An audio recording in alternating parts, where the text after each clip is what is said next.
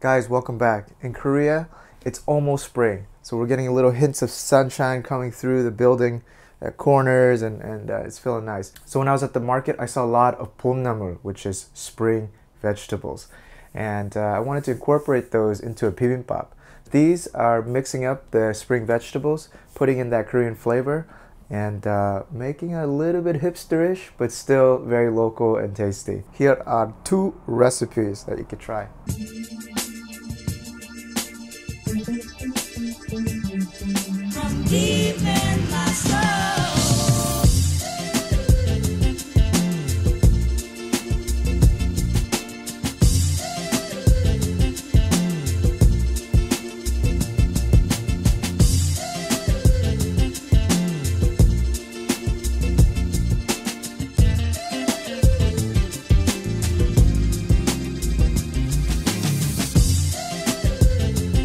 Alright, so the first vegetable that comes out in the spring is called dolnamul. And it looks like this. In English, it's called uh, sedum, and you'll probably have seen it in your garden, but this is the edible kind. The leaves, when you bite onto them, they have a little bit of a crunch.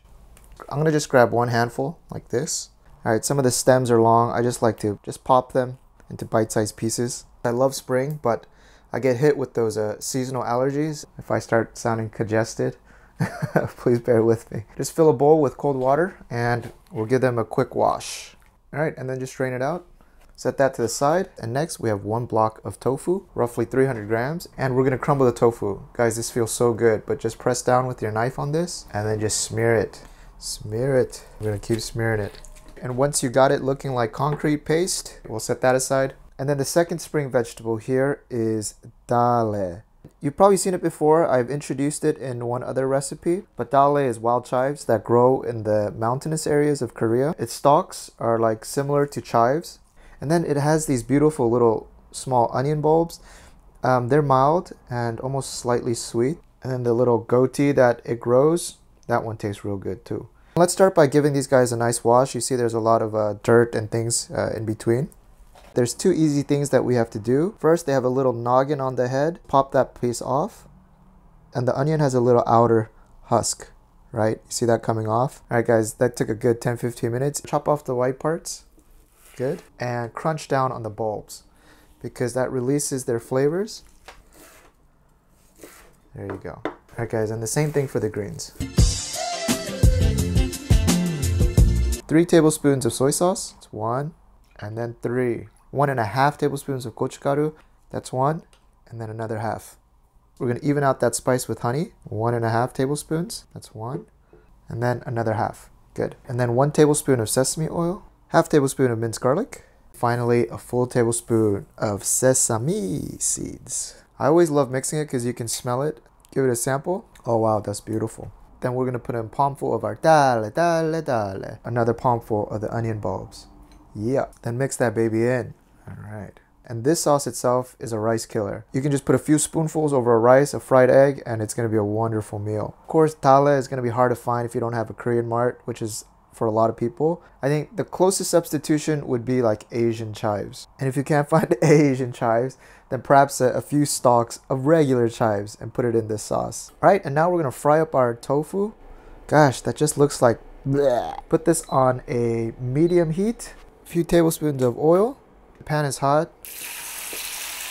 Guys, and then we're gonna go back and forth until we lose all of the moisture in the tofu, right? It's still quite wet and runny. And it's gonna take roughly five minutes. All right, guys, that was a little less than five minutes. And if you look, there's no water. Put in one tablespoon of sesame oil.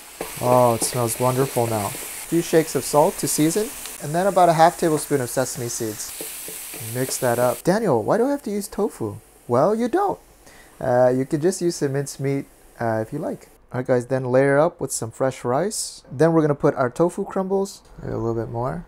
Then this sedum with that weird name our dallae sauce, dallae dallae. Then I'm gonna put one big spoon over the top. Drop some of the green over the table, you know, just to make it look rustic and nice. and guys, here it is. Best way is to use chopsticks, ha ha ha. Just mix it in like that. Oh yeah. Let's put another spoon in. Oh, oh, oh, oh, oh yes. All right, let's get a big spoonful and guys, this the tofu in this dish is so subtle. It just plays in the background. This sauce is amazing. And the second one is going to be a rustic doenjang bibimbap. First, we're going to soak these shiitake mushrooms in water. I'm going to take off the stems. All right. We also need to make an anchovy kelp broth, and if you throw these in, more umami. Next, guys, we're going to dice up one full onion, small pieces. All right, guys, chop suey finished. If you can't find cheongyang peppers, use maybe half a jalapeno. All right, that looks good. Next, we have another block of tofu. We're only going to use half. Slice it through the middle. All right, break them apart. That's ready. And finally, we're going to chop up these mushroom caps. And we're going to use some more of the dallae. This time, I'm going to separate the white parts. We're going to chop up the greens in small pieces. By the way, I was using around this much dallae. That's around like 15, 20 stalks. And then the white part, we're gonna just cut up as well. All right guys, and I made some anchovy kelp broth. It's light and nice. I'm gonna strain this. Um, if you don't know how to make it, uh, check out our video. Let's start, we're gonna put it on a medium high. Let's start off with our onions. Fry it until it starts turning translucent. Then once it turns translucent, we're gonna add in our mushrooms and then our chili pepper. Get on in, baby. We're gonna just keep mixing all this together. Guys, you see there's a lot of water. We're gonna cook this down until most of the water is gone. You see, no water here. And at this time, we're going to add in two big spoons of Korean doenjang paste. That's one. And the second big spoon in. I want you to saute that in.